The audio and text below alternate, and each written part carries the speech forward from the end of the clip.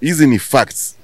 Mimi siongee kwa jazba wala hisia au mtazamo wangu, tunaongea fact. Wasanii wetu hawa wakubwa, nyinyi watu wa media mna, mna ripoti, sisi tunaona. Wanafanyaga show za nje, wanasema kabisa ah, nitakuwepo sijui Australia au nitakuwepo Europe au nitakuwepo Uingereza, eh, sijui wapi. Na show tano,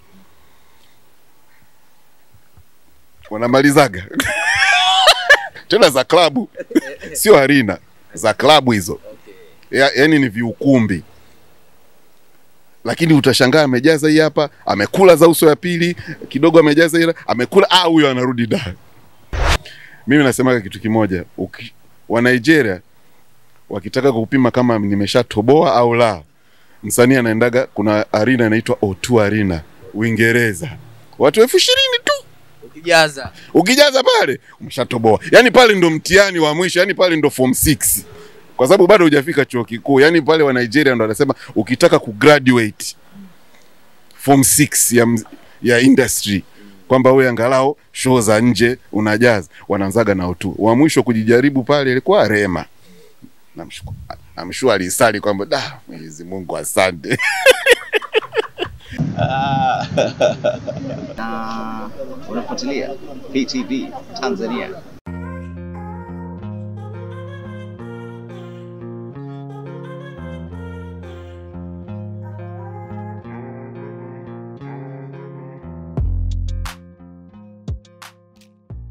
mpaka leo E, mpaka leo ndo formula. yani Yaani sasa hivi ndo kidogo kina Aristote na Peter Msechu na nani na DC Mwijaku ndo anaanza kuonyesha kwamba wana invest. Yaani sasa hivi watu wanaanza kushindana. Mimi nimependa sana, wanaanza kushindana kwenye nyumba, ghorofa vitu muhimu. Gari ukiingia leo kwenye showroom umenunua milioni ishirini, kesho huwezi kuuza milioni ishirini. Umenielewa eh? yani hiyo ni used yani huwezi kupata ile milioni ishirini lakini kiwanja ukiweka milioni ishirini leo baada ya miezi mitatu utapata zaidi na huwezi kukosa hiyo ambayo ule umeelewa? Hicho hicho kitu ndo mzee wangu alinifundisha tangia zamani kwamba gari ni muhimu. Inafika sehemu unanunua gari kwa sababu biashara zako zinaruhusu. Lakini msanii leo hana kitu. Hela yake ya kwanza milioni kumi ta! Tayari anaanza kufikiria. Hafikirii kabisa kwamba ni kuna hela fulani niweke kwenye asset ambazo zinaningizia kipato. Yaani ni formula ni ile ile, pamba lazima ung'ae, gari, mademu, bata. Alafu kumbuka kwamba we kama msanii una shelf life kama bidhaa yoyote, inafika sehemu watu wanakuwa wameshakuzoea. Umeelewa? Ndio ile wanasema umechuja. Kwa hiyo ile nafasi ambayo msanii ambayo anayo au producer inabidi uitumie vizuri. Ndio maana mimi nilitumia ya kwangu vizuri, nilivyoona kwamba hapa huku tunakwenda sitaki, ndio maana nikamtafuta Mako. Kwa hiyo biashara yangu bado ikawa ina, inaendelea huku mimi naendelea na biashara nyingine. Kwa hiyo ni investments, yani tofauti ya mimi P-Funk na wasanii wengine ni tu ni investments. Sasa wasanii wa leo ndo wanaingiza mpaka B, lakini formula bado ni kwa sababu nikiku, nikiku, nikikuuliza wasanii wangapi ambao wamejenga sasa hivi hapo nikuuliza wengi eti wanata, kwenye social media wanatambishana ah, yani unalipa kodi milioni moja mwanangu mi nalipa milioni tatu kwa mwezi bwana we mtoto mdogo sana. Hivi kweli hicho ni kitu cha kwanza kutambiana? Unalipa kodi. Msanii ambaye una magari manne umenielewa? Una magari manne. Hivi msanii ambaye ana magari manne anashindwa kujenga? Kivipi?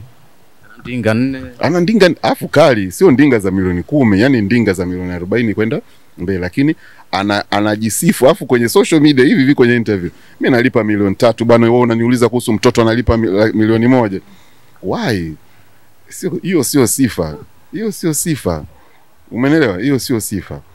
Mwanamuziki amepanga analipa milioni tatu kodi. Eh wengi sana wanalipa. Yani sitaki kuwataja hata hapa ofisini kwangu wengi wako hapa.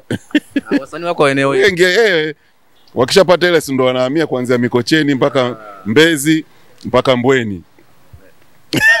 Ndo area yao kwenda hivi. Kwa hiyo na, na, na renti zao ndo hizo hizo milioni mbili milioni tatu. Kodi hiyo. Eh, kodi kwa mwezi. Kwa mwezi. Kumbuka kwa mwezi. Tunaelekea wapi? Pazuri bwana, kama soko uh, sasa tuhamie kwenye kwamba kwenye kazi. Wasanii wetu wako, yani kwenye, wako vizuri, maproducer wako vizuri, directors wa video wako vizuri. Kwa nini nasema hivyo? We are the best in East Africa. Wakenya wanajitahidi sana kubisha oh, like, sawa nyie mnafanya vizuri kwenye mziki, lakini sisi tunaongea Kiingereza kuliko nyinyi. Kaeni na Kiingereza chenu, sisi tunatengeza hela tena tunakuja kuzichota huko huko kwenu, and we still, we still have the best artist in East Africa. Yani hicho ndio kitu ambacho na wasifu wasanii wetu, yani wako vizuri kwenye biashara, kwenye biashara wako vizuri and the, the best in East Africa. Sasa kwenda hivi sasa ndo bado Kwenda mbele huko. ndo bado okay. e, wasanii wetu kuna ambao kuna kuna ambao mashabiki wa wa- mashabiki wanasema kwamba wako international.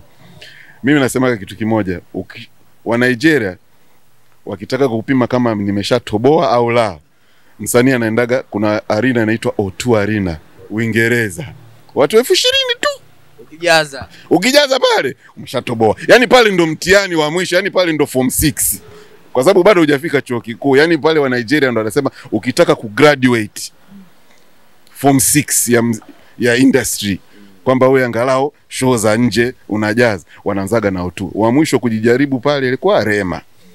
Namshukuru namshukuru alisali kwamba da, Mwenyezi Mungu asante. Lakini wale wengine wote wa nyuma wale walishapita pale, hata Asake alishapita pale, una, unaelewa. Kina Asake sasa hivi wanajaza 80000 yani wala sio elfu ishirini tena, yani wao walisha graduate, wako chuo, walishamaliza first degree, sasa hizi wanatafuta PhD kwenye kujaza arena za nje. Kwa hiyo mimi nachosema ni hivi, kwa wale mashabiki ambao wanapiga kelele, master, we mzee, unujui lolote, wasanii wetu wako international, wimbo uone unafanya vizuri, mwambie aende O2 Arena Akajaze. akajaze. Yani tusiongee yani kwa jazba wala hisia. Fact. Nigeria ambaye tunataka kushinda nao sio? Wale wako mbele yetu tuongee ukweli. Kama tunataka tunataka kusema kwamba angalau tuko sawa na wao au tuna, tumewazidi. Msanii wa bongo ambao unamwamini mwambie akafanye mtihani. Mtihani uko wapi? Otuarina pale. Uingereza tu. Watu elfu ishirini. Watu elfu ishirini. Kumbuka na nini elfu sitini uwanja wa taifa. Sawa? Yeah. mi nasema elfu ishirini tu pale. An- waanze na hapo. Ukishaona msanii wetu mmoja ametoboa pale ujue huyo msanii kashafanya vizuri. Sio tu sio tu tanzania sio tu east africa lakini anafanya vizuri international. Hizi ni facts. Mimi siongee kwa jazba wala hisia au mtazamo wangu. Tunaongea fact. Turudi kwenye fact. Wasanii wetu hawa wakubwa nyinyi watu wa media mna, mna ripoti sisi tunaona. Wanafanyaga show za nje. Wanasema kabisa ah nitakuwepo sijui australia au nitakuwepo europe au nitakuwepo uingereza eh sijui wapi. Na show tano. Wanamalizaga. Tena za klabu. Sio arena za klabu hizo. Ya, yani ni viukumbi lakini utashangaa amejaza hii hapa amekula za uso ya pili kidogo amejaza ile amekula ah huyo anarudi da wanataka kusema ah promoter sijui nini na nini na nini na nini? Yani hivyo ni vitu ambavyo nyinyi ndo mnaripoti sisi tunaviona. Wasanii wetu bado wako kwenye level hiyo. Lakini kwa East Africa they are the best. Na hata kwa soko la East Africa brother wanatengeneza hela nyingi sana. Financially wako very successful. Umeelewa wana hela na unaziona kabisa. Wewe unaona maisha wanayoishi ndinga wanazoendesha just hata lifestyle watu wanakodi siku hizi private planes private jets. Wasanii wetu this wako vizuri. Tatizo sio sio hapo. Lakini wa Nigeria wako hivi vizuri kuliko sisi kwa sasa hivi. Sasa tunahitaji ku, kujiongeza. Hicho tu ndo mi nachosema. Ili tuwafikie wale afu tuwa tuwapite. Kama tulivyowapita unajua wakenya na wa uganda walikuwa mbele yetu sisi. Sisi tulivyokuwa tumeanza mziki wale walikuwa wanakuja hapa dola elfu tano anapiga show. Msanii wa uganda kenya. Msanii wetu analipa elfu hamsini. Eh. sasa hivi meza imefanya nini? Tumepindua meza. Sasa we need to do the same na East, west africa. Na Aliyepindua meza ni nani? kwa sababu mtu wa kwanza naomba nimpe heshima AY. AY nakumbuka ndio alikuwa mtu wa kwanza akasema kwamba sikilizeni, mimi napanda basi naenda huko Kenya, umeelewa? Ngoja nikapambane huko Kenya. So respect to AY. Uh, watu wengi they don't say it, lakini mtu ambaye alikuwa kabisa pioneer akaamua kabisa kwenda hivi kwenda kuchunguza kule nini na nini, akaanza kujenga network. Ndio maana unaona AY mpaka leo ana network kubwa sana East Africa, kwa sababu yeye ali- alishaona kwamba ngoja nikatengeneze network, nifahamiane na watu, iwe wasanii, producers, directors wa music videos. So e, Waya alikuwa kati ya watu wa kwanza walikujaga Bongo wanafanya featuring na Wakenya. Unajua kufanya featuring na Mkenya ilikuwa ndoto za Alinacha, lakini e, Waya broke the barrier, akaanza kufanya featuring na wasanii wa Kenya, akaanza kufanya video Kenya, video kali. Yani hapa Tanzania sisi kipindi hicho tunaangalia sema dai bwana, umeelewa?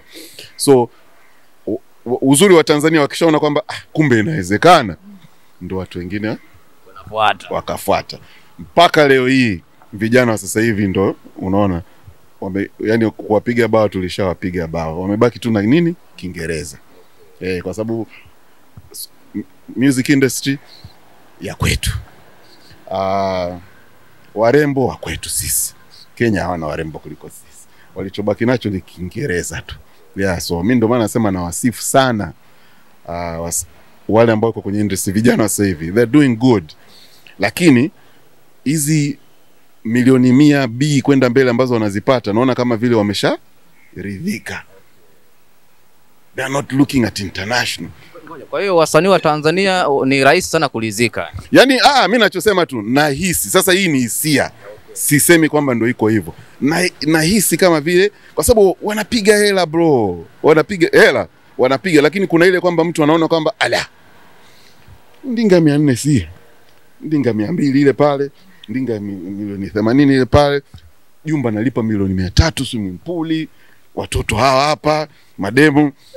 Kuna ile kwamba mtu unaona kama umefika. Lakini kumbuka wakati wewe unaangalia hizo ndinga za hizo bei nizotaja unamwona Wizkid huko. Yani wananunua Ferrari Lamborghinis yani sio moja. Umenelewa Porsches 4x4 yani ni magari ya milioni mia nane bilioni kwenda mbele wana zaidi ya hata matano. Which means financially wale wako mbali kuliko wasanii wetu. Sasa hapo hapo kama jana jana ama juzi Davido aliposti clip alinunua eneo la bilioni kumi. niliona niliona. Unaona vitu kama hivyo. Wenzetu wako huko. Hasa unafikiri investment ambayo atafanya ipo itakuwa bilioni kumi ah, to be over 100 billion. Umeelewa? Sasa kuna ile kwamba una kiu ya mafanikio unataka kuwa the best in africa.